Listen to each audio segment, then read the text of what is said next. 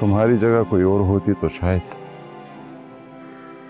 वो मेरा राज सारे गाँव को बता के मुझे जलील कर चुकी होती। तुमने मुझे बेपर्द होने नहीं दिया। खुदा तुम्हारा भला करे बना